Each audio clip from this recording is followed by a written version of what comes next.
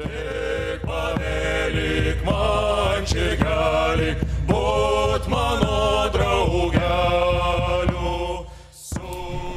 here today to present some results for my PhD project, which I started uh, January this year, and which deals with the early urbanity of Copenhagen, seen through the study of social practices. And I'm interested in how it changed uh, people's lives to live in towns.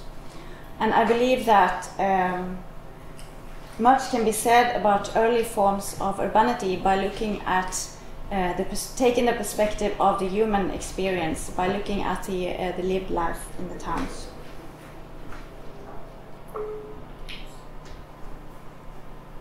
Um, for the analysis, I've set up four work packages, and they are craft and production, infrastructure, household and consumption, and cemeteries and their people.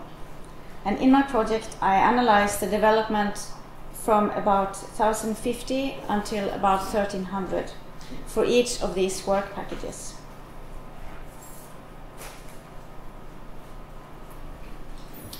And today I will present uh, some results and ideas related to the work with the first of these work packages, craft, which is dominated by iron processing, uh, which I will talk about today.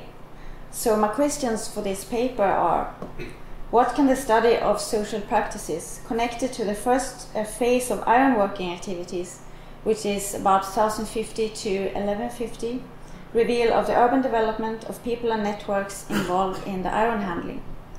And what can the role of iron processing have been for the early development of the town?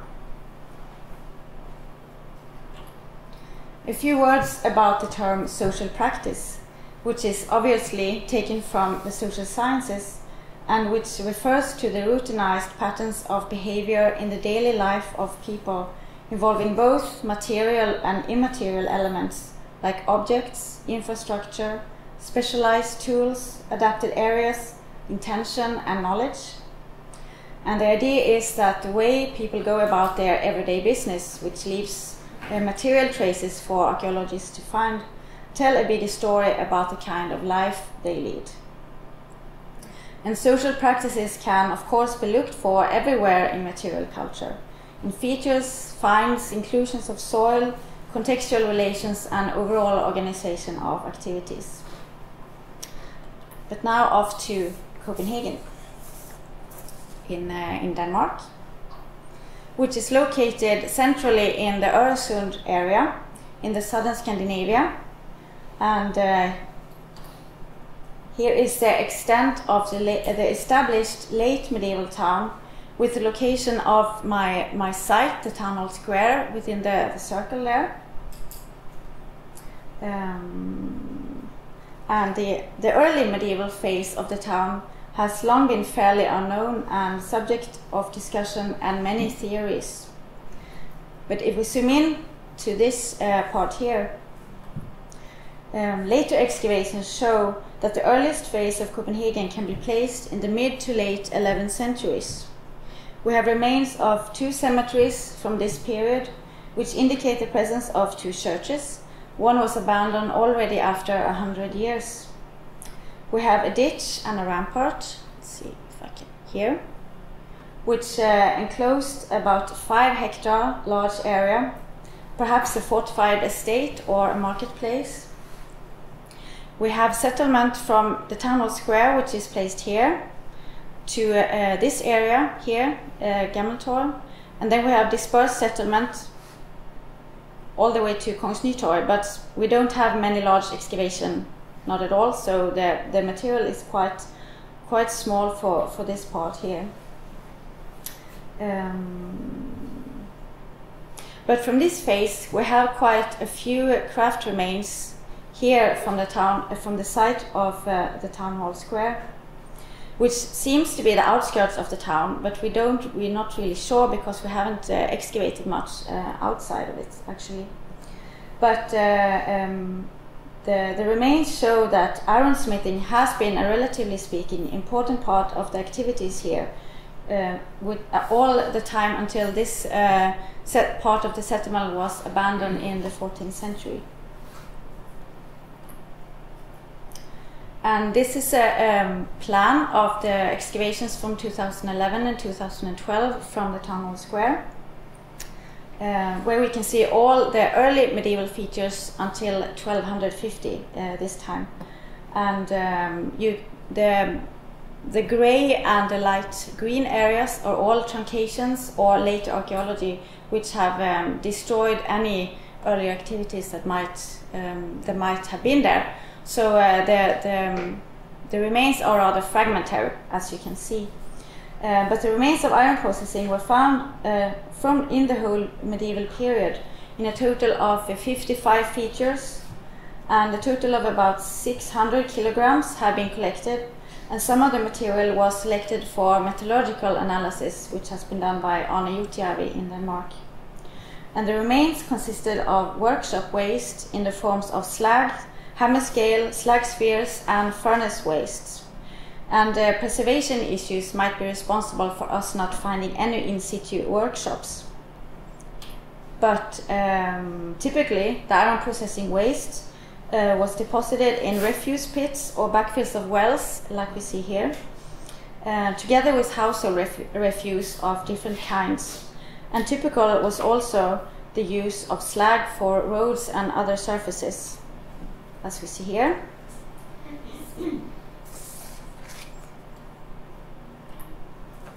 And these are all the features with the iron processing remains uh, that I have um, uh, found from the first uh, uh from the uh, first phase of the early medieval period, and they are marked with uh, red. I hope that you can see them, and they are um, they are also in relation to other features from this period. We have here um, part the first phase of a road, uh, the main road going into town at this point. Uh, we have here some um, fragmentary remains of buildings. Um, here is an area with a lot of pits and wells, and also here. Uh, here is uh, remains of a cemetery. But uh, as we can see, the, the red parts are um, existing in the whole area.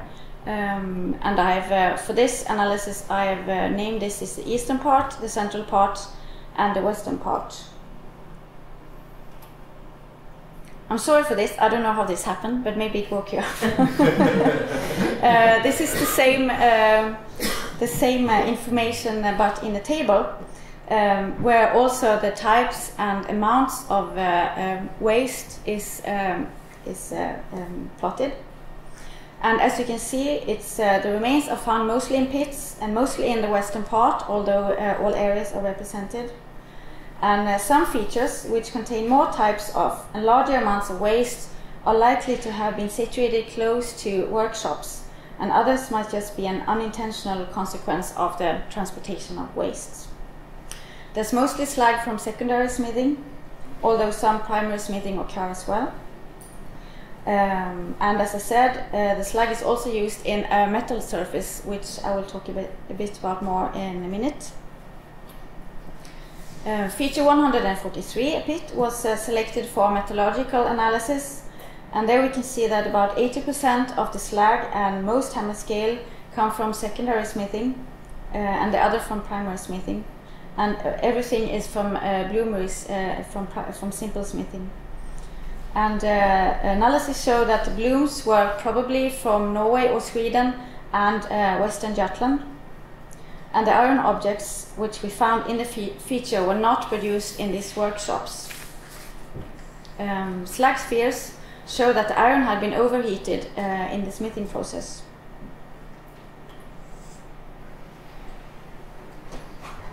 Um, yes, and this is uh, what it looked like to the left here. And a few words about the metal surface, uh, which was, uh, which is, uh, is here. And uh, it was preserved in an area of uh, 15 by 10 meters. It was made of stones with inclusions of slag and large bones. And uh, we could see it had been constructed as one action. It also contained wheel ruts, maybe not so, yeah, there and there, going in slightly different directions and uh, we can also see that one part survived a reorganization of the area where large parts of it were covered by um, a leveling deposit preparing for the next uh, phase of activity. Um, and um, there you see it in uh, close up. Here is uh, what it looked like, and that's uh, uh, one of the wheel, ruts. And for the features with the ironworking residue, I've summarized what other finds were deposited in the same context and thus can be seen as remains of activities taking place in connection to the iron uh, processing. I put them into categories according to the activity that they relate to, and you can see that uh, the daily activities were spread uh, over the whole area, but more household activity were in the central and eastern parts. Craft uh, were in all areas, and metalworking, as we see, mostly in the central and western parts. And we have leisure and trade, which is only found in the uh, eastern part, although it wasn't very much. And this could point to an area with a diverse set of activities practiced together, but perhaps with some tendencies of different uses of the sub areas. So, to sum up, what information about social practices surrounding the iron processing have we got here? If we first look at the types of deposition of waste, we have it in pits together with household residue, which tells of a daily organization of the craft undertaken in connection to dwellings and the presence of a wide range of household finds indicate that not only the smiths but maybe whole families have been active in the area. And slag deposited as fillings in roads and surfaces tells of organized collecting of suitable slag lumps for this purpose, a need and intention and knowledge of this being a fairly trafficked road and surface, as well as the fact that large enough quantities of the material were, were present and the workshops produce simple objects made by smiths with medium or even low skills, and the overheating of iron, as shown in the slag spheres, could point to the presence of apprentices. And together, this could place different elements of a town population here at this point. And the networks um, indicated towards Norway and Norway, Sweden, as well as Jutland, is perhaps not uh, surprising either. So could this scenario be described as urban or the social practices described also urban practices? The scenario follows a general pattern of early towncraft in Scandinavia, with small scale, non specialized, and situated in connection to dwellings, which is also seen in uh, larger towns like Lund, Bergen, and Old Lödöse. And if we take a broader look at the site at this time, uh, it's, uh, it's well known that iron production in early medieval Denmark was very important for the rise of the new kingdom. And wide complex networks surrounding the iron can be seen, as we have heard of earlier today, both in archaeological and written sources. And a place like Copenhagen, situated by the coast and close to the iron rich provinces towards the east, would be a good place to use in the iron trade and craft network. So, is this a town or something else? Well, first, for the investigation of the early stages of urbanity, there is, of course, an absolute need of a contextualized view, taking many components into consideration social practices as well as societal framework.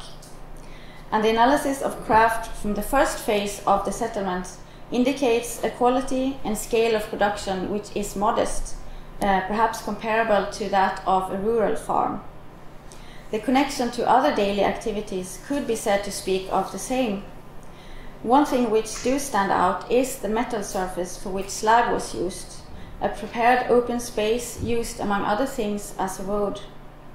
And this is a feature not likely to be found in a village, I believe. And together with what we know else from Copenhagen at this point, a place with uh, two churches, an enclosed or fortified area, a location at the increasingly important Öresund. Uh, this place, having started as a, a, rural village, does not seem very likely. It should maybe instead be seen in relation to its placement by the coast with its communicative uh, aspects.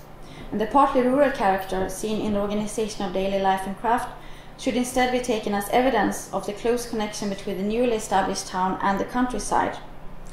Um, and the very early Copenhagen was a place to which people recently had moved, most likely from different places, most likely rural places. and the newly established places led to encounters with new people, which meant new set of social rules and new social roles.